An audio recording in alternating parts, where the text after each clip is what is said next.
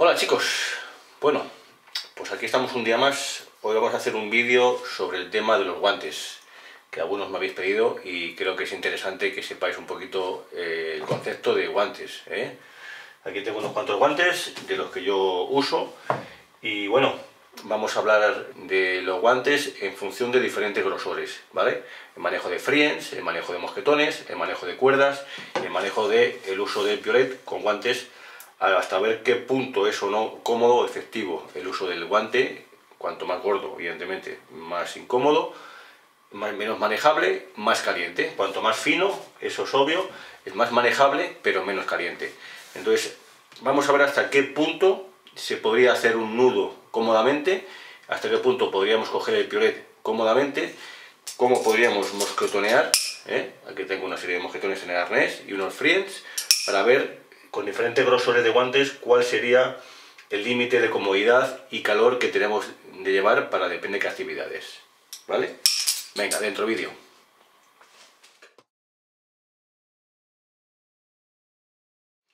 Bueno, empecemos desde los más finos, ¿eh? guantes interiores, ¿vale? Es un guante que suele ser de primera capa, que se suele utilizar bajo otro guante más gordo. Son guantes que suelen ser de poliéster, suelen ser de lana o suelen ser de seda, ¿vale? Un guante interior, que también a veces, pues para no dejar la mano desnuda, se suele poner pues como guante único también, ¿eh? ¿vale? Eh, es un guante que no aguantaría más de 4 o 5 sobre 0, ¿vale? Si fuéramos a la montaña con él, pues valdría para esas temperaturas. Y se suele utilizar para poner debajo de otros guantes. ¿eh? Un guante como este, por ejemplo, que es un poquito más gordito, pues lo solemos poner de abajo de otro guante. Eh, cuando quitamos el, guante gordo, la mano no se queda desnuda nunca, ¿vale? Hablamos de temperaturas muy frías. Puedo coger perfectamente los mosquetones, puedo coger un friends perfectamente y utilizarlo sin mayor complicación. Sería como no llevar nada, ¿vale?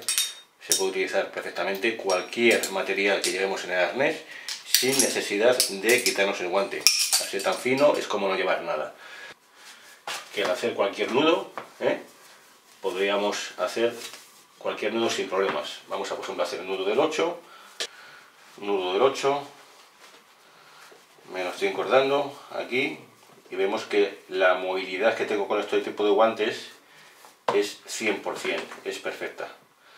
Puedo anudar perfectamente el nudo del 8 sin mayores complicaciones. Podemos coger el piolet perfectamente y hacer cualquier gesto con él que no nos va a resultar incómodo. ¿vale? Tenemos bastante tacto, bastante comodidad con un guante fino.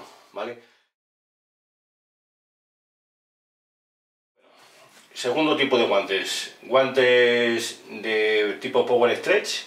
Es un tejido de, de poliéster con nylon, elásticos que suelen dar mucho de sí y bueno, pues más o menos para temperaturas no superiores a los 2 grados sobre cero, entre 2 y 0 grados máximo, máximo, ¿vale?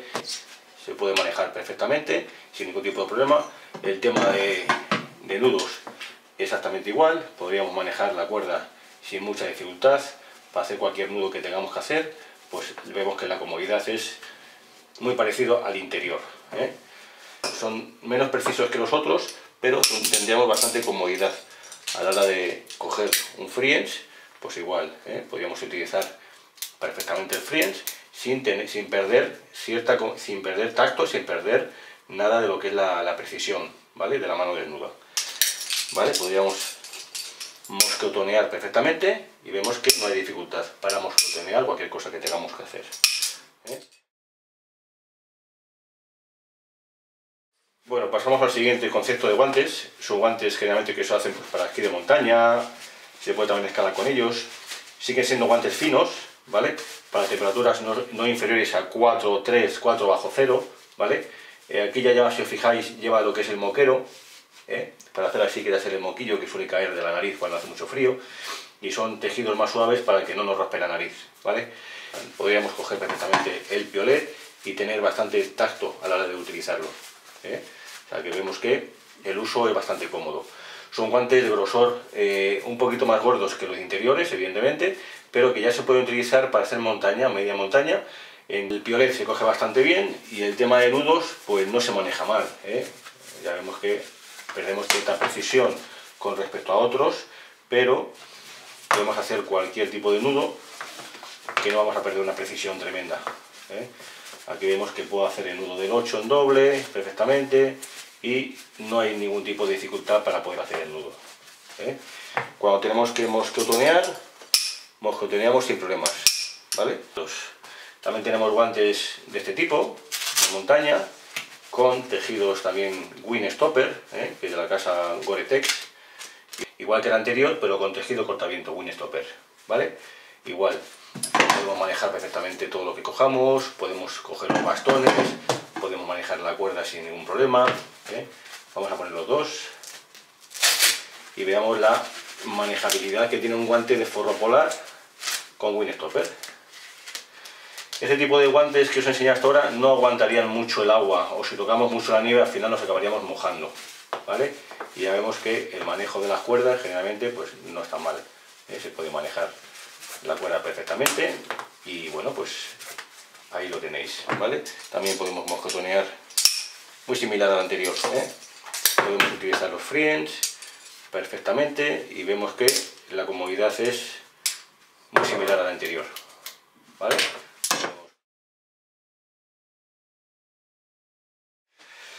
Pasamos a un guante ya con palma de cuero, sigue siendo grosor parecido al anterior, en temperaturas no, no más de 5 bajo cero, eh, guantes que ya tienen más precisión porque el cuero es más flexible, más cómodo a la hora de coger material y demás.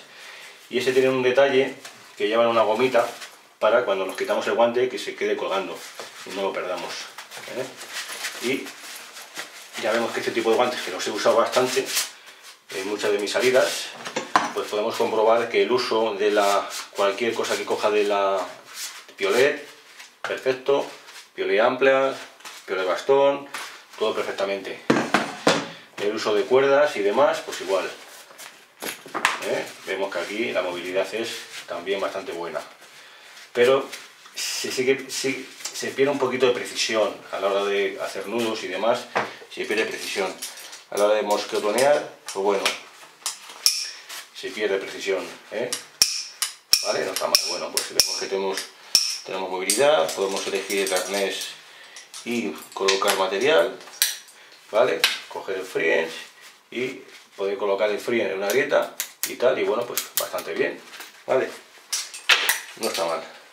Cuando hace calor y los guantes los queremos transportar, este tipo de guantes llevan una anilla, llevan una anilla que se cuelga el de un mosquetón y se colocan los guantes hacia abajo para que no nos entre la nieve, ¿vale? Porque si estuvieran colgados al revés nos podía entrar nieve o humedecerse.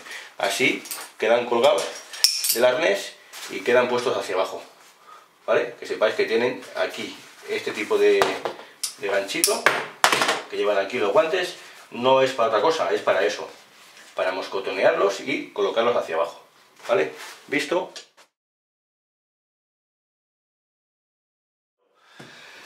De ese mismo estilo, de otras marcas, pues tenemos guantes también para escalar en hielo y demás, un poquito más altos, ¿vale? Un poquito más altos. Todas las tancas y ceñidores son con goma para que podamos tener acceso rápido a ellos. Y bueno, pues ya vemos que son sigue siendo guante